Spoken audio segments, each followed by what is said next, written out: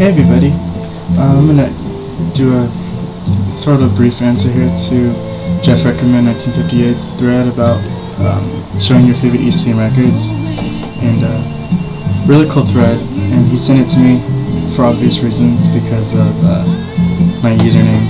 You know, I really love. I've always said how much I love this label, so I thought I would um, do it. Of course. The background music is not really jazz at all, but whatever.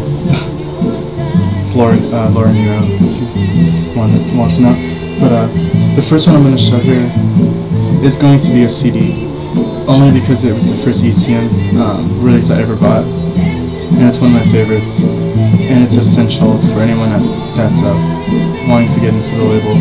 So this is uh, Pat Metheny's Selected Recordings which is um, their series called Rarum. It's Rarum number uh, is that nine, I think, or not um, eleven or something. I don't know.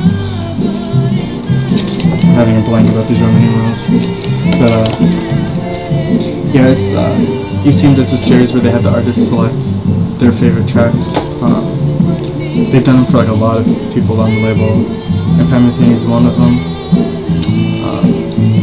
doesn't even feature that many tracks, but the disc is like 71 minutes long, which is really long. But um, he chose some really great tracks, I think. Um, more kind of atmospheric and dreamy kind of jazz uh, jazz tracks that he's he's recorded, including probably the best.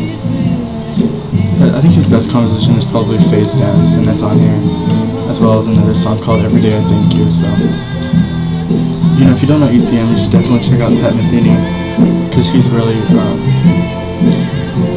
his, his, he really defines the ECM sound, and um, his post ECM records are kind of kind of border on the more kind of smooth territory with some world um, some world music influences.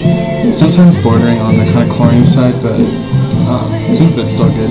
But nothing will ever beat his ECM years. So. Secondly,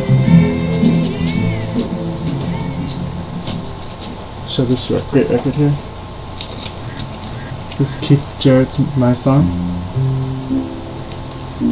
featuring John, uh, Jan Garbarek, Danielsson, and Jon Christensen. All three ECM um, musicians, all fantastic. you know, ECM is very ambient, very nice production and everything, and this one is just defines that sound to me. Very beautiful melodic songs.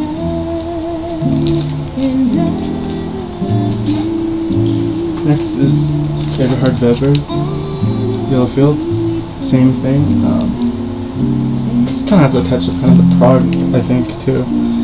Four, four really long tracks. Eber, Eberhard Weber, of course, the bass player with Jon Christensen on drums again. Love the covers too of ECM records. So another one of my favorite guitar players. It's Bill Connors of Mist and Melting.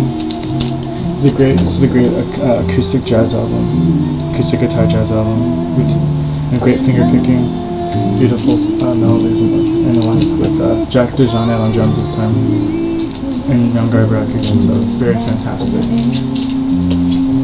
Lastly, this is Bennie Maupin's Jewel in a Lotus. Ambient jazz at its finest. Um, of course, Bennie Maupin just played with Miles Davis in, the like, and uh, this is the only ECM record to uh, feature Herbie Hancock as well, um, who he played with. Now, did Bennie Maupin play with Miles Davis, or was I know he played with Herbie Hancock. I forget about Miles Davis, though, but um, yeah, this is really great.